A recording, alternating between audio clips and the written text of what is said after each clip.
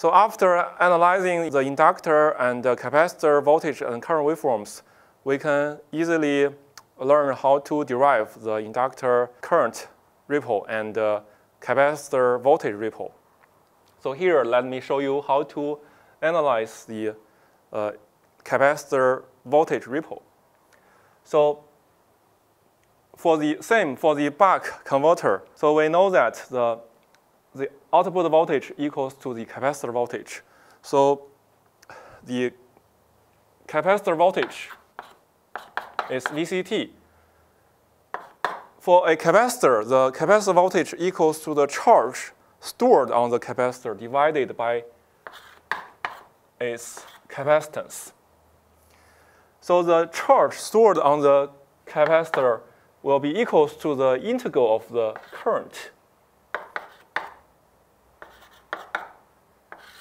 over time. So based on this nature of the capacitor, so we can plot the capacitor voltage waveform accordingly.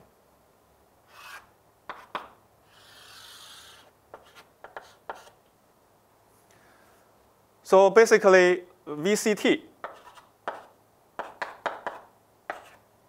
equals to the integral of the capacitor current divided by capacitance. So this is the capacitor current, right? Capacitor current.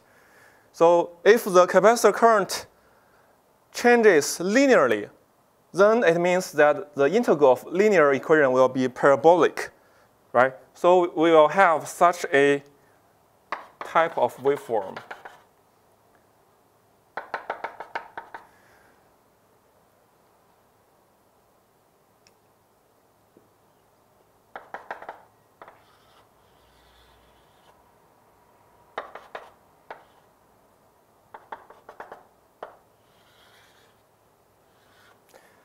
So there will be time variance of the capacitor uh, voltage on top of a DC bias, and the change will be the in integral of a linear equation, which is parabolic. So based on this profile of the capacitor voltage, we can also introduce a parameter which we call it as delta VC, which is the output voltage ripple, where we use delta V to denote this output voltage ripple. So now let's try to analyze the expression for the output voltage ripple. So before we analyze the voltage ripple, let's first have a review on the inductor current ripple, right? So for the inductor current ripple, delta IL. Delta IL, we learned that equals to this quantity, right? The slope times the duration, so which is slope is Vg minus V over L. And duration for this period is half of the mode 1. So rearrange, right, this equals to Vg minus V over 2L dTs. So that's the expression for the inductor current ripple. And now let's look at the delta Vc, right? So Vc, we can see that Vc will be rising from here to here when the capacitor current is positive right? So interestingly is the this area means that the capacitor is being charged. So the area corresponds to the little q, which corresponds to the net change of the charge stored on the capacitor. So this can be reflected to the capacitor voltage ripple right? Basically, we'll see that Q equals to Q incurred twice of this change, right? This is twice delta VC times the capacitance of the capacitor. So this, this they will be equal, right? Equal based on the capacitor's nature. And uh, in a different perspective, we can also write the expression for the Q, right? For the Q, mainly by the, this area, right? This will be a triangle, right? Triangle. And uh, the base will be half of the switching period. And the, this height, right? This height will be equals to delta IL, right? Delta IL. So we can see that Q also equals to the height, base times height divided by 2. So 1 over 2 base, which is half of one switching period. And this height will be right delta IL, right, delta IL. So we can further reduce this as Ts over 4 delta IL. And uh, this equation shows the expression for delta IL, right? So basically, those two different methods, they should be have the same results.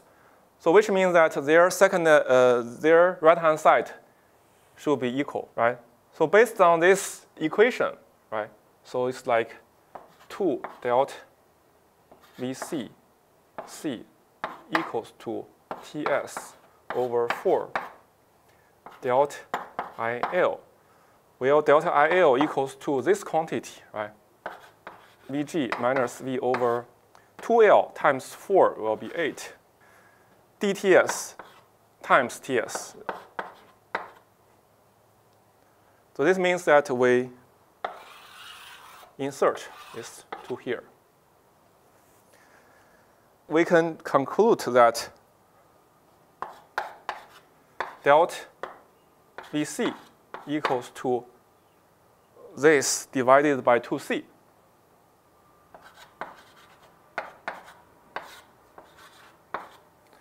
1 over 2c dTs square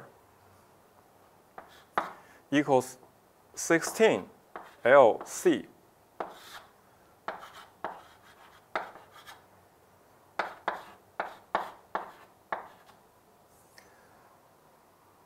So that's the expression for the output voltage ripple. Okay, and uh, we can do one more step to further reduce this equation. Because for buck converter, we know that buck, the output voltage equals to D times input voltage. So this can be inserted here, right? Then Vg minus V will be equals to 1 minus D input voltage. We introduce a parameter as D prime.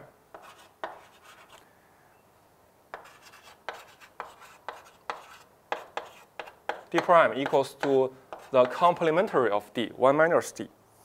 So we can rewrite the expression for output voltage ripple. So equals to input voltage times d prime d over 16 LC TS squared. So that's the final solution for the capacitor voltage ripple. Okay. To summarize, we can see, right, for a specific applications, in order to suppress the inductor current ripple, we can look at this equation, right? Basically, we can reduce the switching period or increase the switching frequency, or we can select a larger inductance to suppress inductor current ripple. And for the capacitor voltage ripples, for a specific application, if we want to suppress the capacitor voltage ripple, we can also do similar thing. We can either reduce switching period, right, or increase the switching frequency, or we can increase the product of the inductance and uh, capacitance. Either way, we can constrain the output voltage ripple for the switch converter. Okay, so that's today's material.